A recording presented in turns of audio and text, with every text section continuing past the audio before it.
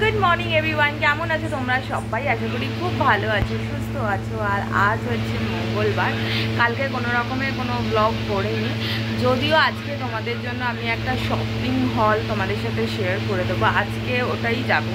কারণ আজ কালকে আমি কোনো ব্লগ শ্যুট করিনি। কালকে নিজেকে একদম একটু রেস্ট নিয়েছি। বিকেলের দিকে একটু ফ্রেন্ডস জুনিয়ারে গেছিলাম। কারণ ওরা, আমরা তো এখানে থাকি না শ্রীরামপুরে। এবারে একবার ওখান থেকে শুভ গিয়ে কেনাকাটা করেছিল তারপর থেকে ওরা প্রায় সময় ওদের অফার নিয়ে ফোন করে। তো এখানে যে ট্রেন্স জুনিয়রটা খুলেছে, তো কালকে আমরা ওই ট্রেন্স জুনিয়রে গেছিলাম গিয়ে মেয়ের জন্য অনেক কিছু টুকটাক মানে ঘরোয়া কিছু টুকটাক শপিং করেছি, যেগুলো তোমাদের সাথে অ্যাজ আ শপিং হল আজকে আমি শেয়ার করে দেবো, কী কী কিনেছি, না কিনেছি। তো আজকে ব্লগটা এখান থেকেই শুরু করছি, আশা করছি তোমাদের ভালো লাগবে, আর আজকে শুভজিতের ছুটি আছে।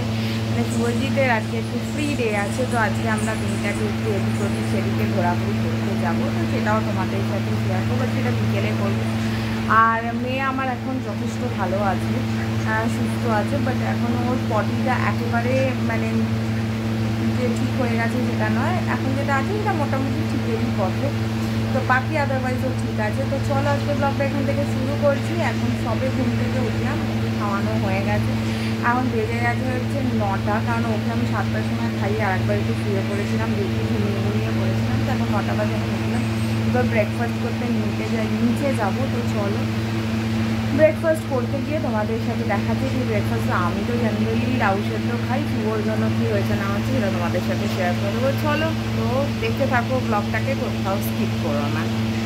যাচ্ছি নিচে গিয়ে শুভজিতে ব্রেকফাস্ট বানাবো। শুভজিৎ বলছে ম্যাগি খাব, তো ওকে ম্যাগিটা করে দেবো।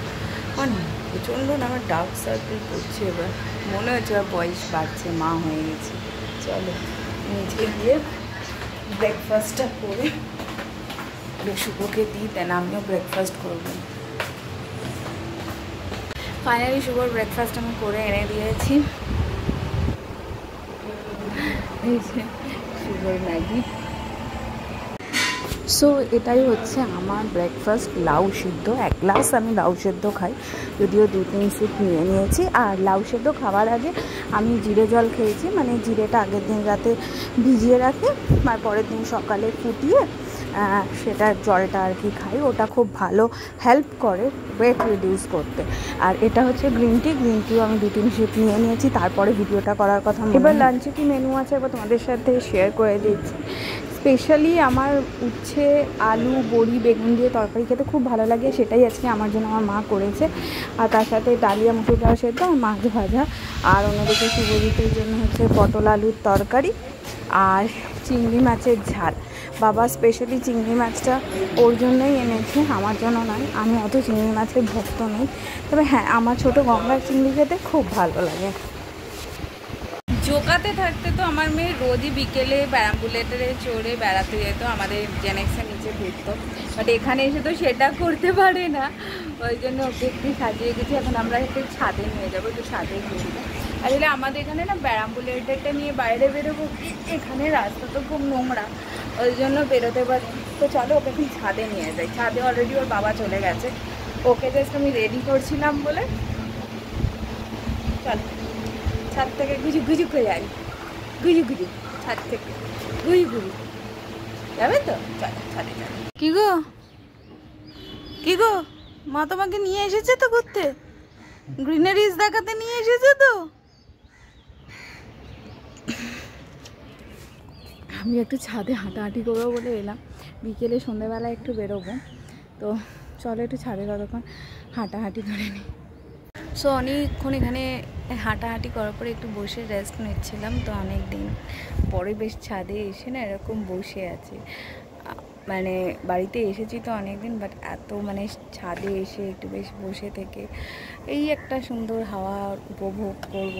মানে আর তোমাদের সাথে একটা জিনিস শেয়ার না, এই উল্টো দিকের এই জায়গায় প্রচুর নারকোল গাছ লাগানো ছিল। মানে তোমরা যদি আমার পুরনো ভিউয়ার্স হয়ে থাকো তো তারা হয়তো জানবে যখন যখন আমি ছাদে এসে ভিডিও করতাম, তো আমাদের পেছনে মানে সামনে ডানা প্রচুর নারকোল গাছ লাগানো ছিল। বাট সব নারকোল গাছগুলো কাটা হয়েছে, আর কি করা যাবে?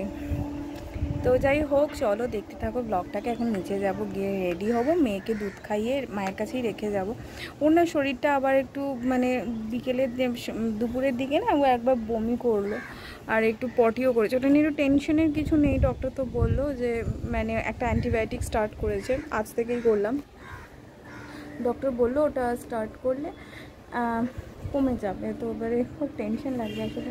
ফার্স্ট টাইম এরকম হচ্ছে তো যাই হোক চলো একটু বেরোবো। একটু গাছপালা কেনার আছে বিকজ আমার খুব ইচ্ছা আছে ফ্ল্যাটে দু চারটে গাছ লাগাবো।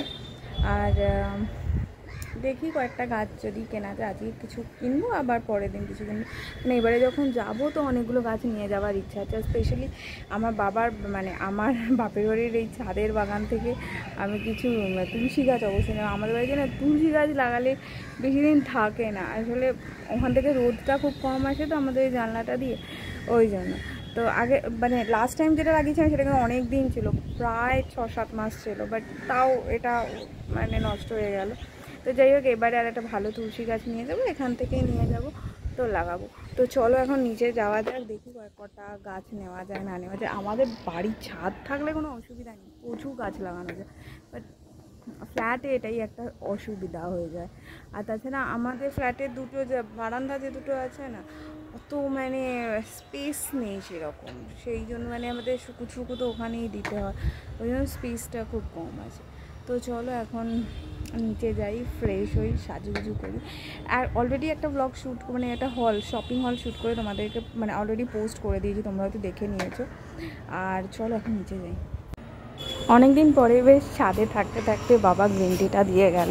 সেটাই জাস্ট এখন খাচ্ছি। কি বলব বলো তো? খাচ্ছি না। বান করছি বলতে হয় যে আমার গ্রিন টি তো চলো গ্রিন টিটা খেয়ে নিই দেন নিচে গিয়ে মেয়েকে দুধ বা সেরেলাক খাইয়ে আমি রেডি হয়ে নিয়ে তারপরে বেরোবো।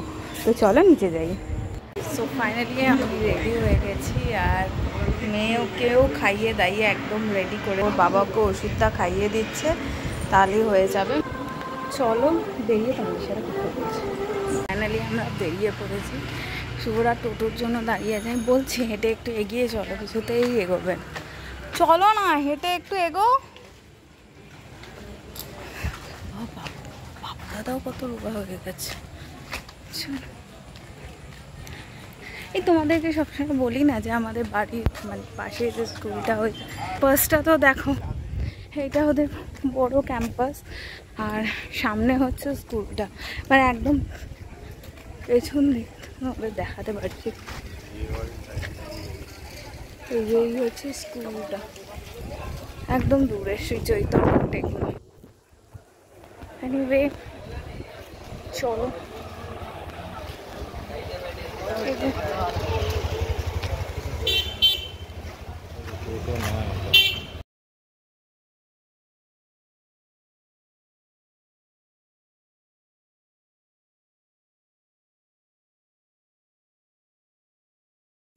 কথা তো ছিল যে গাছ ফাছগুলো আজকেই কিনে নেব, কিন্তু শুভ বলল যে অনেকটা রাত হয়ে গেছে, যেহেতু আটটা বেজে গেছিল।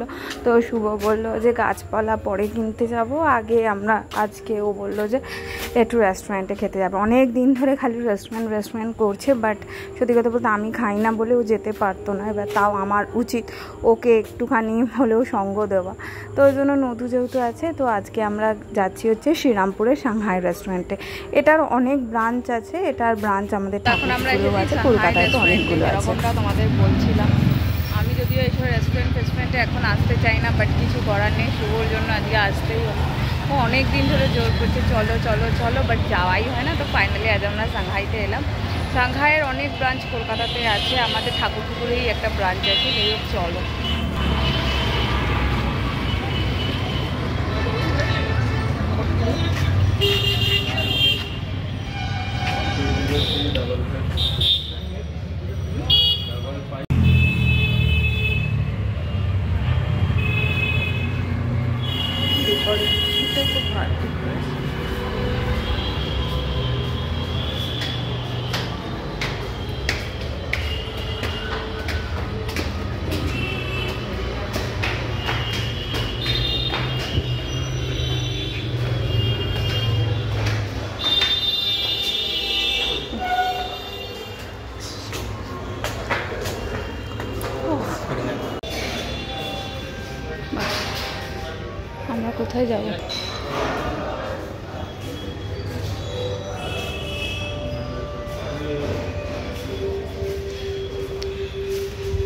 কোনখানে বসবো?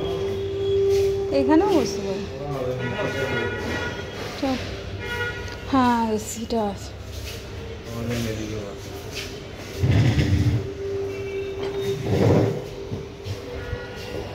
সিটাগুলো চলছে না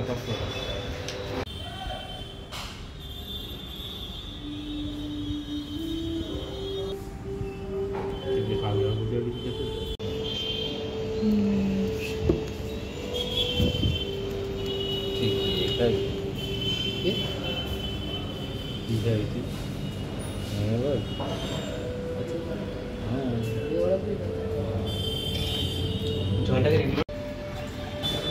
ফুড অর্ডার করা হয়ে গেছে। আমি তো ডিমসাম অর্ডার করেছি বিকজ শুভ প্রচণ্ড জোরজার করছিল। ভয় ভয়ই খাচ্ছি।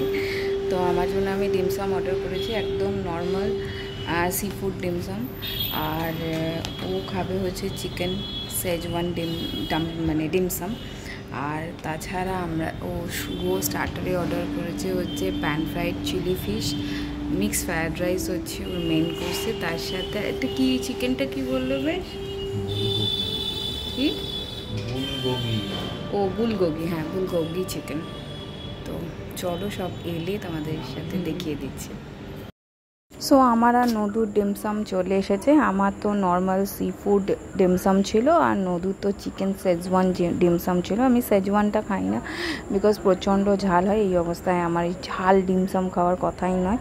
তো আমি আমার জন্য নর্মাল সি ফুড ডিমসামই অর্ডার করেছিলাম আর ওর জন্য সেজওয়ান ডিমসাম তো নর্মাল ডিমসামটা দারুণ খেতে ছিল মানে সি ফুড ডিমসাম দারুণ ছিল।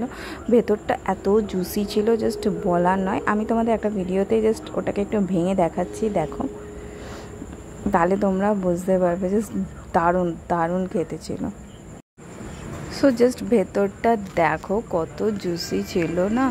আমার তো ভীষণ টেস্টি লেগেছে, খুব ভালো। মানে সি ফুড দিয়েই ফার্স্ট টাইম আমি ডিমসাম ট্রাই করলাম। সো এবার চলে এসেছে শুভর প্যান ফ্রাইড চিলি ফিশ এটা পিওর ভেটকি ছিল। জাস্ট দারুণ টেস্ট ছিল, আমাকে ভুলবশত দিয়ে দিয়েছিল, তাই আমিও একটা পিস খেয়ে নিয়েছিলাম। বাট অসাম ছিল অসাম ছিল, মনে মনে ভয় ছিল যদি আবার বাড়ি ফিরে গ্যাস্ট্রিকের কোনো প্রবলেম হয়। বাট তাও মনে মনে ভয় থাকলেও খেয়ে নিয়েছিলাম, বেশ ভালো টেস্ট ছিল। আর শুভ টুবোরাও শুভ নদু সবাই খেয়েছে, বেশ টেস্টি আর খুব জুসি ছিল আর একদম মানে টাটকা ভেটকি ছিল। আর এবার চলে এসেছে শুভর মেন কোর্সে মিক্স ফ্রায়েড রাইস আর তাসে ওই বুলগগি চিকেন। ও দুটোই নাকি খুব ভালো ছিল, আমিও দুটো টেস্ট করিনি। শুভ আর নদু দুজনে ওটা টেস্ট করেছিল, ওরা বলল ভীষণ ভালো ছিল। আর সবথেকে মানে ভালো ব্যাপার হচ্ছে সাংহাইয়ের ক্ষেত্রে আমি বলব, ওরা কিন্তু টেস্টটাকে খুব ব্যালেন্স করে মেনটেন করে, ওদের কোয়ালিটিটাকে মেনটেন করে। ওদের প্রত্যেকটা ফুড আইটেমের যে কোয়ালিটি ছিল, দারুণ ছিল। প্রত্যেকটা জিনিসই মানে প্রত্যেকটা ফুডই কিন্তু ফ্রেশ ভেজিটেবল এবং ফ্রেশ ইনগ্রিডিয়েন্টস দিয়েই বানানো ছিল, যেটা খুব ইম্পর্ট্যান্ট হয় একটা রেস্টুরেন্টের ফুড কোয়ালিটির ক্ষেত্রে। তো ওরা কিন্তু সেটাকে মেনটেন করে, তো আমার ওটাকে খুবই ভালো লাগে।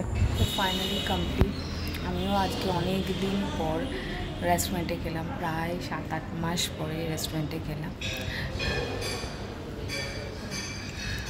চলো, বাড়ি যাওয়া যাক এবার। তো এই জাস্ট বাড়িতে ঢুকলাম, এসে আগে মেকআপ টেকআপগুলো তুললাম। তার কারণটাই হচ্ছে যে, তোমরা জানো যে, আমার মেয়ের একটু স্কিনে অ্যালার্জি বেরিয়ে যার জন্য মেকআপ ফেকআপ আমি এসেই তুলে দিয়েছি আজকে। আর যাতে ও আমার স্কিনের টাচে এসে ওর যাতে কিছু না হয়, তার জন্যই জাস্ট প্রিকশন তো এখন চলো, আমি একটু ছাদে যাব, গিয়ে একটু ঘোরাঘুরি করব, একটু হাঁটাহাঁটি করব, যেহেতু অনেক দিন পর খাওয়া দাওয়া করেছি। বুঝতেই পারছ, মনে মনে ভয় দাও যদি কিছু হয় আগে মানে আফটার ডেলিভারি দুবার আমি রেস্টুরেন্টে গিয়েছিলাম। তারপরে আমার এতই শরীর খারাপ হয়েছিল, বলার নয়। তো যাই হোক, এখন আমি যাচ্ছি ছাদে, একটু ঘোরাঘুরি করব। তো আজকের এই ব্লগটা তোমাদের কীরকম লাগল জানাতে একদম ভুলো না। Please do like share comment and subscribe my channel কালকে আবার নতুন একটা ব্লগের সাথে তোমাদের সাথে দেখা করতে চলে আসব। ততক্ষণের জন্য ভালো থাকো সুস্থ থাকো bye good night love you tata.